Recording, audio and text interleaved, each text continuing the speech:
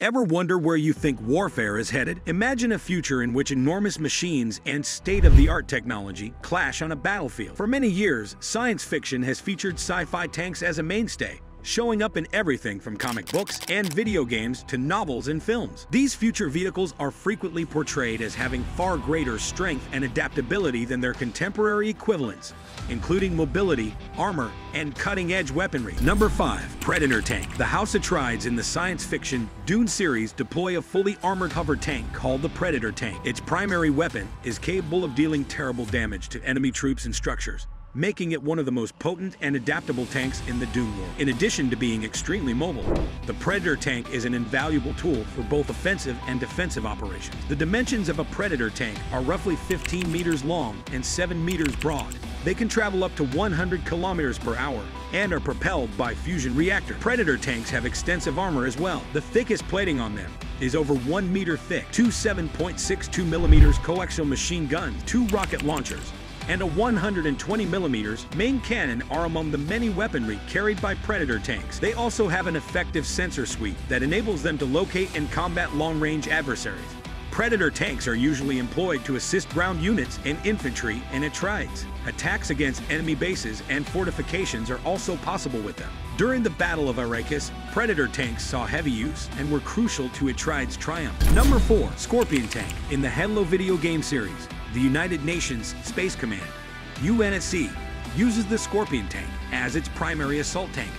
It is a very agile and adaptable vehicle that can engage opponents both up close and far away. In addition to its formidable anti-aircraft cannon, the Scorpion tank is an invaluable tool in any conflict. The 90mm high-velocity cannon that equips the Scorpion tank is capable of firing a wide range of ammunition, including canister shells, high explosive anti-tank rounds, and armor-piercing rounds.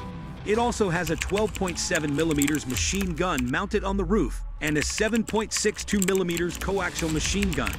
With a long range and a high top speed, the Scorpion tank is propelled by a fusion reactor. In addition, it has thick armor, which protects it from enemy fire. One of the most recognizable vehicles in the Halo universe, the Scorpion tank has been a key player in many of the most legendary clashes from the franchise. It is an invaluable asset to any UNSC army, being a strong and adaptable vehicle that can take on any adversary. Number 3. Bolo. An imaginary kind of super heavy tank with artificial intelligence is called a Bolo. Since their initial conception, these characters have appeared in a number of science fiction books and anthologies written by Laumer and other writers.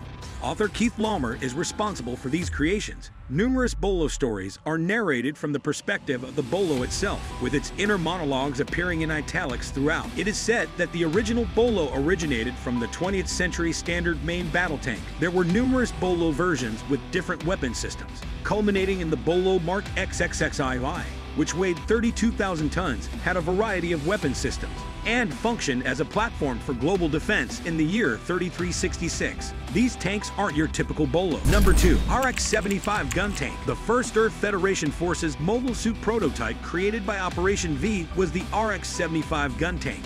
It was said, meanwhile, that it was more akin to a tank than a mobile suit. Many businesses, including Hervik and Takem, contributed to its development. The gun tank was a mobile suit in body and armor, but its legs were caterpillar treads. It was originally intended to be flown by a two-person crew, consisting of a driver in a separate cockpit, located in the torso, and a gunner in a canopy-style cockpit on the head.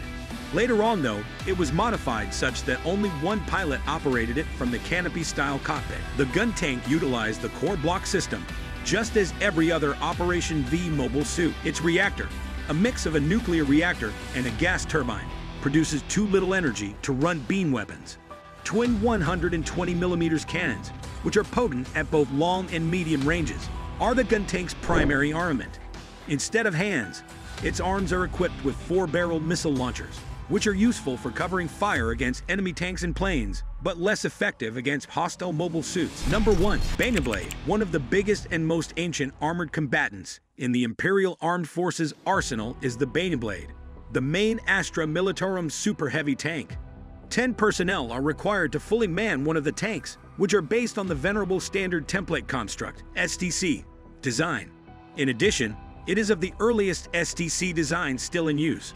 Commanders of the Imperial Guard frequently employ them as command vehicles. A Baneblade, armed to the teeth, is more like a mobile fortress than a tank. A single one of these incredibly heavy war engines can act as the unbreakable cornerstone of even the most valiant defenses, or as the mailed fist of an Astra Militarum attack, making it an unmistakable symbol of the Imperium's armored superiority. There you have it. Science fiction tanks are a fascinating world. How you feel about these innovations? Tell us in the comments section below. Remember to like and share this video to help spread the word about how exciting technology is going to be in the future. Until the next time, maintain your curiosity and never stop pushing the boundaries of invention.